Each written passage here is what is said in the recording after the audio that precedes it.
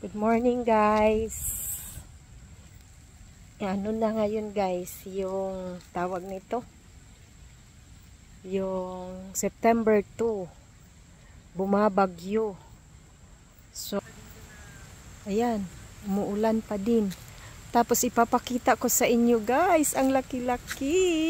Ayan. Ang bayabas. Tapos tingnan nyo naman guys, oh inano na oh sayang ang laki na nitong dalawa. Tapos ayan. Tingnan nyo oh la nawala na oh grabe. Mm. ano ba yan? Kinain. Sayang. Hindi kasi kami nakapunta ilang araw. Dahil nga ano ayan. Oh nanilaw na oh ba? Nanilaw. Ay nalaglag pa Hala. Ayan guys, so. Yan.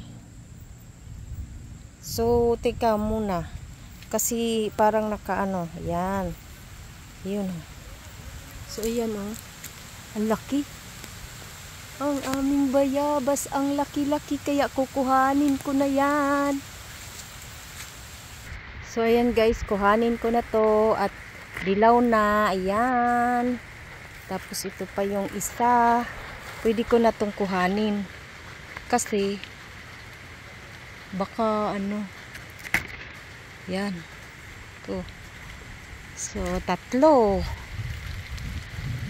Hmm. Ay. yay, yay. First time kong kakain ito. Kasi sinubukan namin ito. Yan.